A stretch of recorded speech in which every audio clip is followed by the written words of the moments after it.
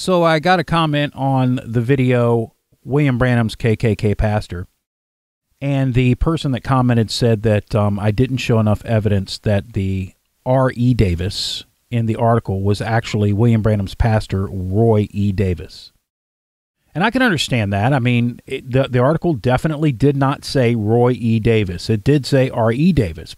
I, I can assure you that was the Roy E. Davis uh, that William Branham spoke so highly of in many of his sermons and uh, in his articles. But uh, I do have some extra proof here. I've got a couple of uh, articles that I'm going to show you that has uh, Roy E. Davis mentioned in it as a former Klan member, and I've also got an article that has him in his um, in his white robe and hood, and uh, and I'll show you that as well.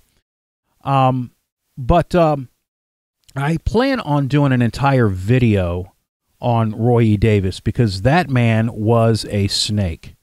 He uh, was living such an immoral lifestyle on top of being involved with the Klan. Now, before we look at the article, I want to go over here just to remind you, uh, and just in case you, you know, you you you forgot, this is William Branham's first pastor. Now, this is in Branham's magazine. You can see it right here. Voice of the Voice of Healing magazine. This is from uh, October 1950. All right, and this is Reverend Roy E. Davis. I'm not going to read the entire article, but I do want you just just as a reminder, just to show you uh, that uh, Roy E. Davis uh, was promoted by Branham. Branham put him in his magazine, uh, The Voice of Healing. So let's uh, let's look at what he said here. Uh, dear brother Lindsay, that would be Gordon Lindsay. For some few months, I have been impressed to write an article on Billy Branham. After meditation and prayer, I have decided to do so. I hope I can compose this article in such a manner that uh, I will see it in print. First, I am the minister who received Brother Branham into the first Pentecostal assembly he ever frequented. I baptized him and was his pastor for some two years. I also preached his ordination sermon and um, signed his ordination certificate and heard uh, heard him preach his first sermon. I was the first man on this earth whom Billy ever saw anoint and pray for a sick person. So there's enough proof right there that this is Roy E. Davis. This is William Branham's first pastor. Let's go over and look at this article here. This is from February the uh, 29th. Look at the date here 1924. All right.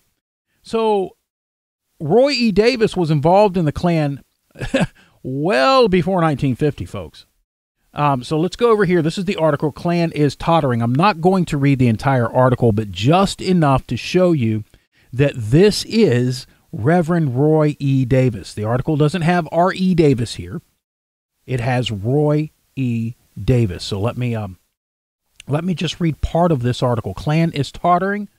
Uh, predicts death of or uh, pre- wow predicts death of of order in one year. Roy E. Davis. Okay, Roy E. Davis. All right, this is the man here. Roy E. Davis addressed a large crowd last night, stating that the Ku Klux Klan, by reason of the rottenness of its imperial wizard Hiram W. Evans, was rapidly going to pieces and that in 12 months the order will have perished entirely. Reverend Roy E. Davis of Fitzgerald, Georgia, pastor of the Baptist Church at that place, and a banished member of the Ku Klux Klan, and again, this is in 1924, addressed an audience of 300 men. Look at this at the Knights of Pythias Hall last night, most of whom were members of the Klan which Davis uh, arraigned bitterly. The speaker, who is an organizer of the Knights of the Flaming Sword, that is another white supremacy group that Davis was involved with.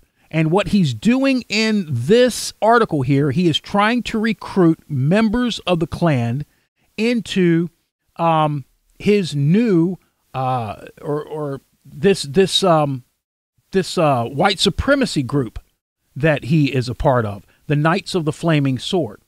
So that's the that's the whole purpose of this article, and you can see this is Davis, um, and he's um, he's slamming the uh, Imperial Grand Wizard Hiram W. Evans, and he's trying to invite uh, these Klan members into uh, this other group he's involved with, Knights of the Flaming Sword. So that's that article. Let me take you over to this one right here.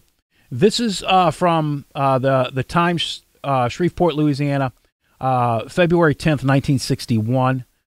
Demonstrating the Klan salute in his white robe is R. E. Davis. Now, say what you want. This is Roy Davis. Okay, this is not just an R. E. Davis. This is Roy E. Davis.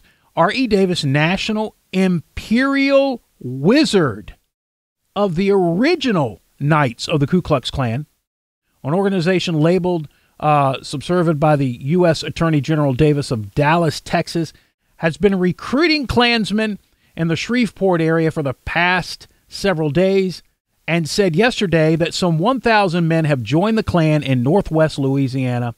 The robe displayed here, and I'm getting ready to show you him in his robe.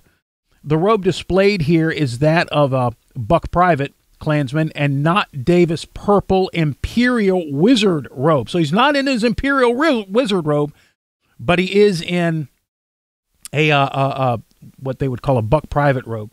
State law forbids the wearing of the hoods in public.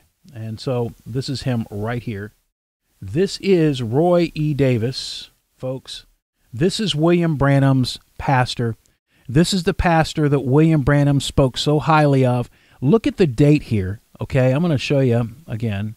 This is um, February 10th, 1961. So Branham died in 65. Branham died in a car accident in 1965. So this is four years before Branham's death, and Branham is still in his some of his sermons talking about this man right here, Roy E. Davis. And this is yeah, this is uh, this is Branham's pastor. This is the man right here.